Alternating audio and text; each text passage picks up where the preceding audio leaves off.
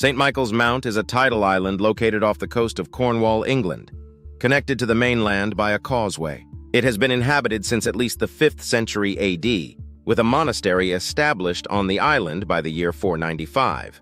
The mount was fortified in the 15th century and became the official residence of the St. Aubyn family in the 17th century. The ancient priory church, gardens, and castle on St. Michael's Mount are now open to the public and managed by the National Trust.